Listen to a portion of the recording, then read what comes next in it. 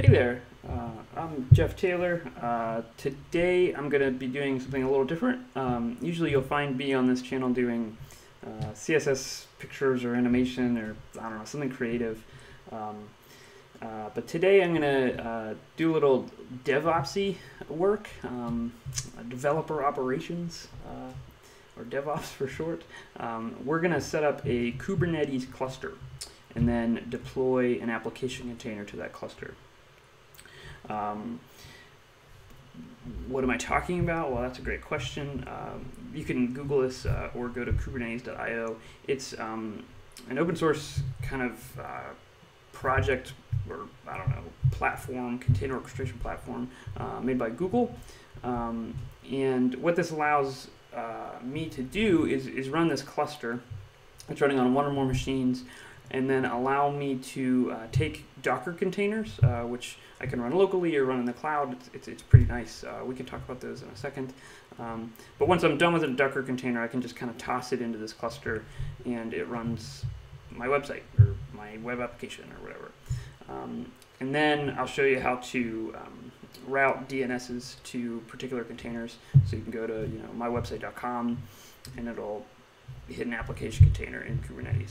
Um, I use this uh, at work and in my personal projects as well because I find it's very easy to, to do some work on my machine and then toss it up to the production servers and it just kind of work. Um, it's easy to upgrade and downgrade and scale and change and manage. Um, so I like it a lot.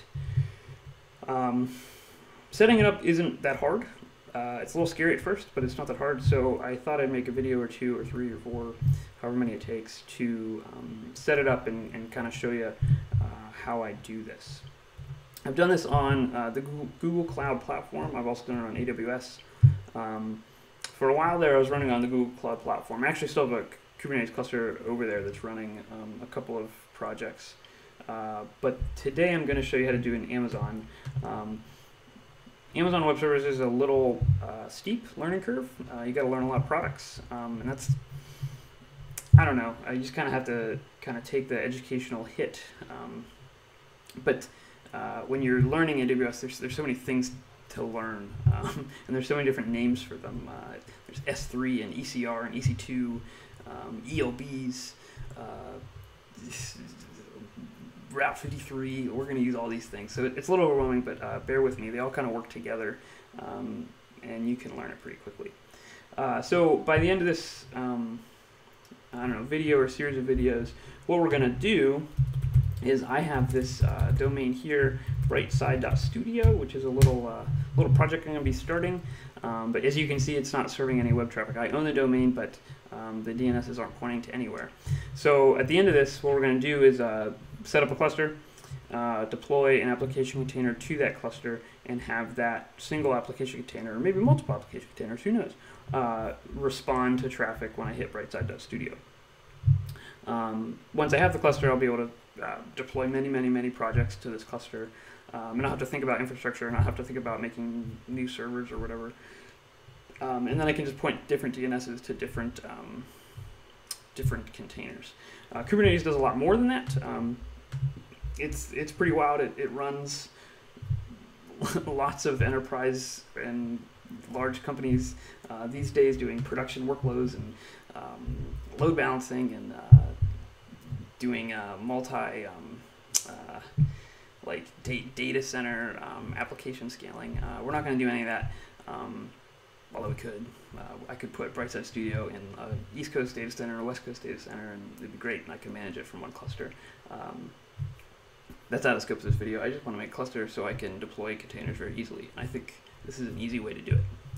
So without further ado, let's get started. I have some links up here that uh, we will go through, um, but the first one is uh, this Amazon um, article that's written fairly recently. It's I'm recording this in September, um, this was written in July of 2017, so just a couple months ago. There are some things out of date. Uh, that's kind of why I make this video. You can't just follow this guide and it works. Uh, it's kind of frustrating. So uh, just bear with me. Um, here's the link. I'll, I'll post it below. So the first thing we need to do is um, install a couple things on our machine. Um, the, the two we need are KOps or COPS. uh, which is a just kind of a tool. I think it stands for Kubernetes operations. I could be wrong, um, but KOps. That's what I think about. Um, Kubernetes operations that we'll use this really once or twice to spin up the cluster. Um, then we won't really need it anymore. We could use it to um, upgrade our cluster as well, but we're going to just write a couple commands to get the cluster up and going. And then kubectl or kube control um, is what we're going to use to actually interact with the cluster. Uh, we're going to be using this a lot. So uh, what you got to do first is install um, kops or Kubernetes operations and then the kubectl. So we'll do this first. Um, and kops is actually already on my machine, but you just run this command.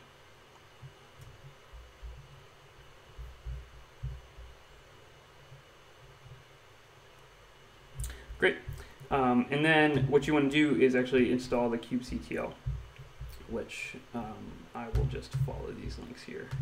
This will go to the GitHub page. And this will say install kubectl. And this will take us to the Kubernetes page. And it has a couple different instructions on how to install it on different platforms. I have this link up in here. So if you scroll up um, or down, whatever, uh, you can install it. I'm running on macOS, um, and you can install it via Homebrew, just like we installed the uh, kops.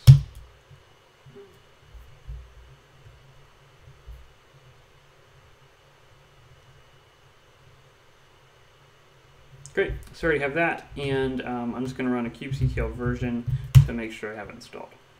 And I do, great.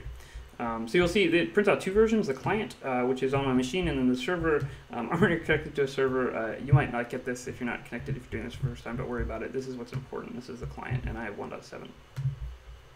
Cool, so um, now I have those both on my machine. Uh, now what we need to do before we create the cluster is create um, a little bit of uh, configuration. And this is kind of the first like AWS like learning curve. Like, oh my gosh, I just want to make a, a Kubernetes cluster. Now I got to do this other thing. It's this other project called S3. Um, it's cool. Uh, bear with me. Um, what we got to do is store some configuration in the cloud. Um, and this is basically a, a, set of configurations so that uh, the cluster can, can, can spin up. So what it has us do is create an S3 bucket, which is really just a place to put files, um, and we have to give it a name. Um, this one won't actually work uh, because this guide's out of date, so I'll explain that in a second. So um, what we need to do is, um, oh, I already have the AWS CLI installed. Uh, when you register your AWS account, which you'll need, um, I'm not going to go over that in this video, um, you can just download the CLI, it's, it's no big deal.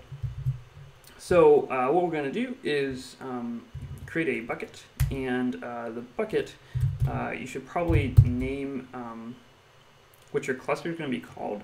Uh, it's kind of odd. Oh, you can't see this. My face is in the way. There you go. Uh, maybe I should move my face over here. Or maybe I should just, I know what I'm going to do. There you go. Now you can see my terminal. Okay, cool. Um, okay, where were we? Sorry about that. Uh, we're going to make a cluster. And, um, sorry, we're going to make a bucket. And what they suggest you do is name your bucket kind of uh, what your cluster is going to be named or addressable at. Uh, it has to be a real DNS. It has to be a real domain. Um, and they say you have to do that so you don't get confused. because uh, your cluster is going to be um, accessible. Um, maybe not by everybody, but somebody. So it needs an internet address, and they don't just issue out IPs anymore, or they do, uh, but they want it to be masked by a DNS so you know what you're talking to. Because uh, people like me, I deal with uh, a couple clusters at a time, um, different projects, different companies that I'm working for. And if it was just a bunch of IPs, I'd get confused which one I'm connected to or which one I'm talking to. So they make you actually name it.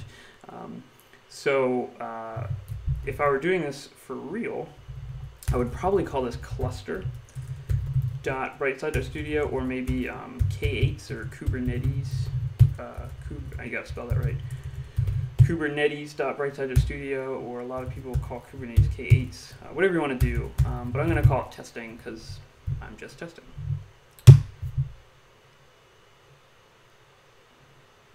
and this uh, breaks. So uh, we're just following this guide here, and it's like, oh, make one. Um, and this breaks. And the reason it breaks is uh, this guide is actually wrong and well, not wrong, but out of date, and it wants us to give it a location constraint, uh, meaning what data center do we want to make this um, bucket in. So uh, you have to give it a create bucket configuration space location constraint and give it a, um, a data center. Um, if you don't know what data center you need, you can go to this website here. And here are the, uh, the places for S3, and I am closest to the Ohio data center, so I'm going to give it US East, excuse me, US East 2. Um, and you can kind of see here, this is the location constraint here. Um, if you are not uh, near Ohio, you can pick something else. Um, these are the location constraints. Uh, but I'm going to pick US East 2. So now this will work. So this is the first change, or this is the first difference um, from this guide that we're following. Okay, uh, once we do that, it says this guy strongly recommends that you version your bucket, which I think is a good idea. Um, it'll basically this will do some change tracking uh, for us. So I am going to update my bucket to be able to do that. And my bucket is named testing.brightside.studio. Cool.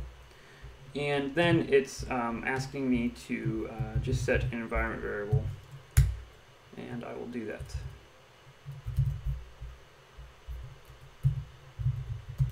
So I believe this will be testing.brightside.studio as well.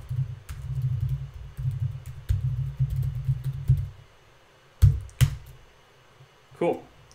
Um, so that's it for the um, S3 configuration. So now we have an empty bucket just chilling out there um, that kops is going to use later um, to put in some, some configuration and some state info about uh, our cluster.